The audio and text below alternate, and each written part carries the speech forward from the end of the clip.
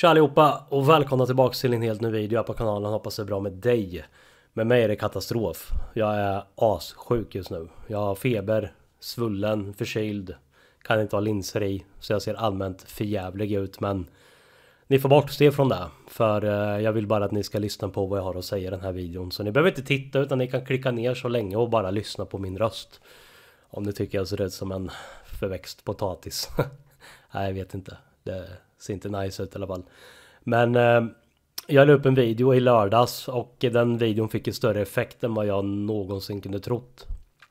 Det känns som Krille tog åt sig som fan av den för han har läckt massa stories angående mig och Sofia och han gjorde även en video igår som handlar väldigt mycket om mig och Sofia där han läcker printar, han säger saker och ting. Och jag tänker så här, för först och främst så sa Krille så här att jag har ingen egen talan utan Sofia talar för mig. Och det där stämmer absolut inte. Så jag tänker att jag och Sofia kommer reagera på den videon ihop där vi kommer dementera det som han säger i den videon. Så får hon säga sitt och så får jag säga mitt för att hon är ändå involverad i det här nu och jag tycker att det är viktigt att hennes röst får höras för hon är ändå en del av familjen. Och varit med i många år och sett och hört vad som har hänt. Så att det blir en helhetsbild av allting. Jag tänker då så här då i den här videon att eh, Krille pratade väldigt mycket om att jag har varit i båda läger. Och eh, jag vet och jag visste att den här dagen skulle komma. Eh, jag visste att jag haft en oro i kroppen att när man har varit bror med båda två, man har varit i båda lägren, man har sagt saker till den ena parten, andra saker i den parten. Att någon gång kommer det brista för den personen och den kommer läcka det.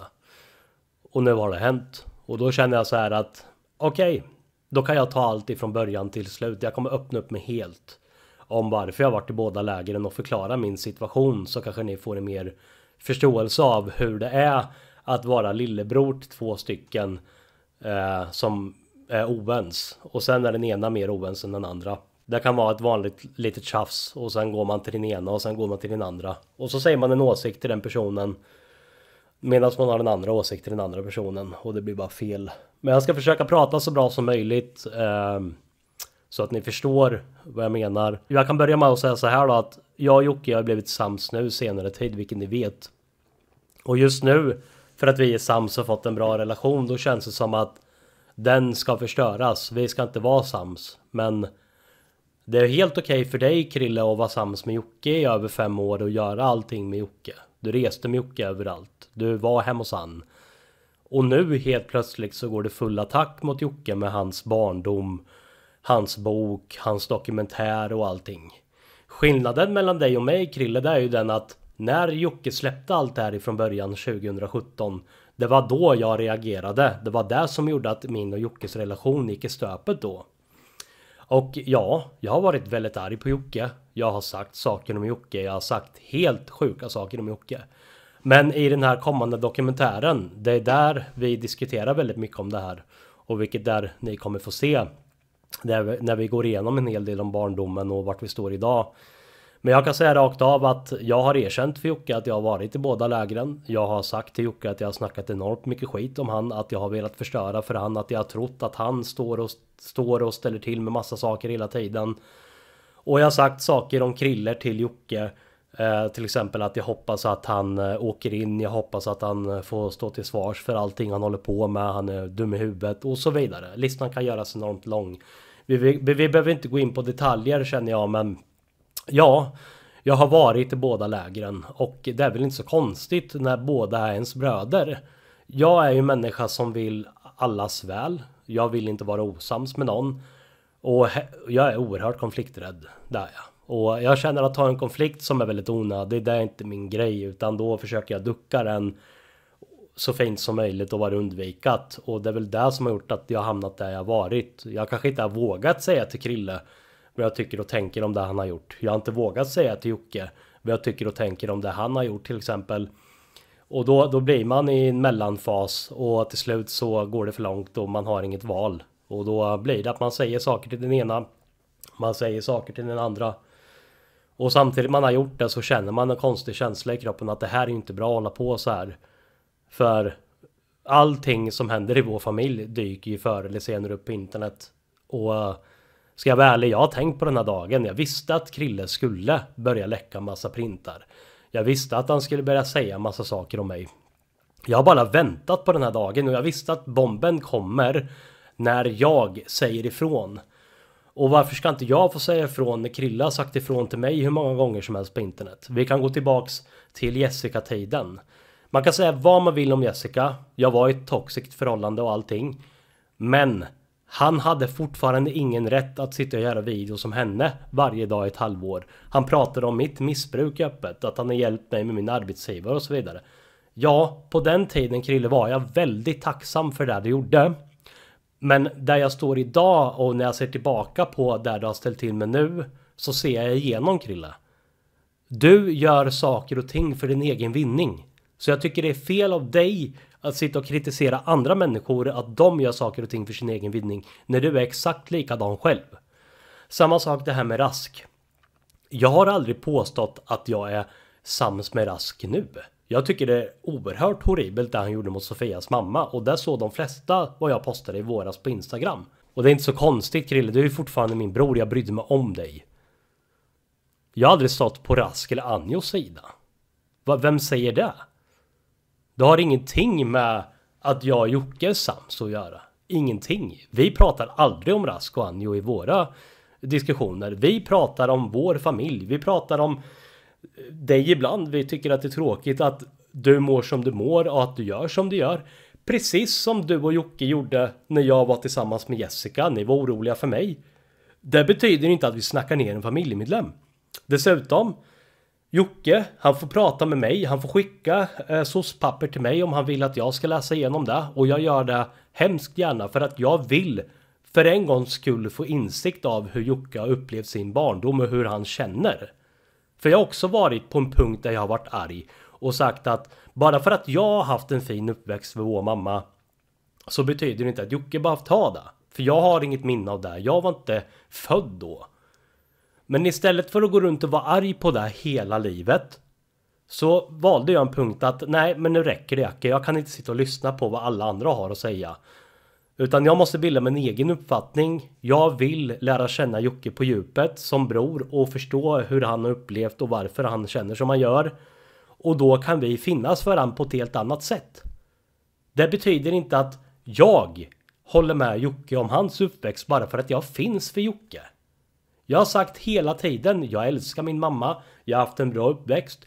Men samtidigt, om jag läser socialpapper och jag får en inblick av hur det har varit och jag har en åsikt. Då går inte jag emot min mamma utan den åsikt som jag hade. Det betyder inte som sagt att jag vänder mig emot min egen familj.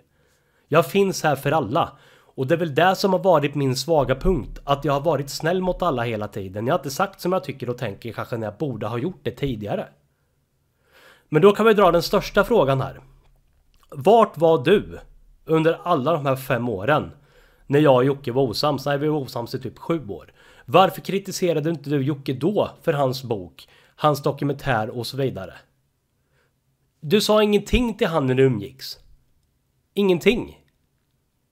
Vi har rätt ut det här jag och Jocke nu och vi vill inte höra mer om något familjerelaterat skit. Vi tar det med varandra.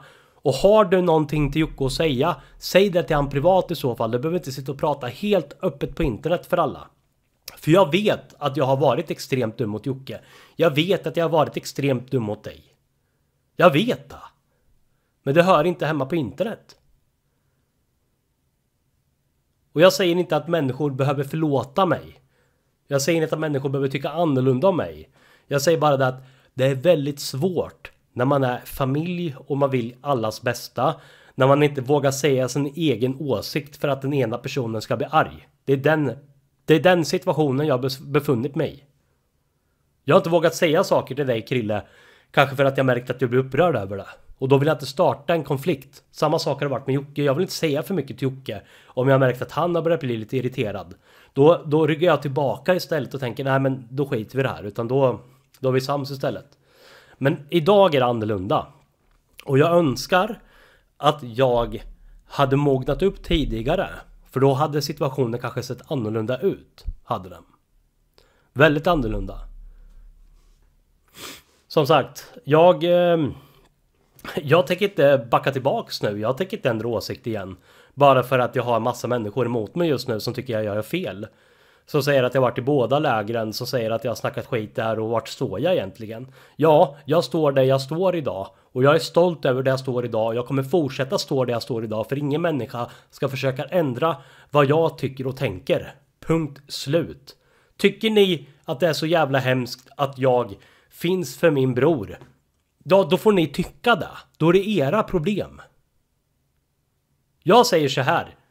Det är bättre sent än aldrig. Att ta ner stridsyxan, att göra det på ett moget sätt, gå vidare med livet och bli sams. Du och jag, med, du och jag kan också bli sams en Krille. Men då är det inte bara min sida det handlar om. Det är inte bara jag som ska göra saker utan då ska du kämpa för vår relation med. Och visa att du vill förändras.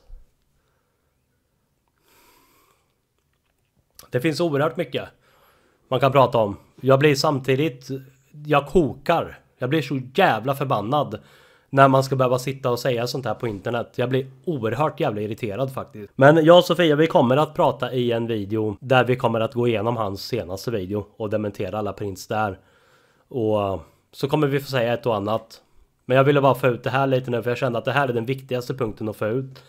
Eh, för jag har fått kanske några DM bara, inte många men Många frågar mig om jag spelar dubbelspel och så vidare men det gör jag inte. Jag hade aldrig lagt så här mycket energi på min och Jockes relation om jag hade spelat ett dubbelspel. Varför har jag inte haft kontakt med Krille? Varför har jag haft sämre kontakt med mina andra familjemedlemmar? Jo, det är för att jag vill inte bli påverkad av deras åsikter kring min och Jockes relation. Jag hade aldrig gett upp där jag varit bekväm med hela livet och allting om jag hade spelat ett dubbelspel. Aldrig någonsin. Jag har gått den bekväma vägen hela mitt liv och um, inte orkat ta konflikter och så vidare. Men det är slut nu. Jag är inte den personen längre. Jag kan ta vilken konflikt som helst nu. Sen hoppas jag verkligen att det här dramat bara läggs ner. Så hörs vi när vi hörs. Ni får ta hand om er. Så ber jag om ursäkt för kvaliteten återigen. Men jag spelar in med webcamen. Men eh, ni får lyssna bara om det är så. Ta hand om er alla. Så hörs vi när vi hörs. vi säger så. Tja!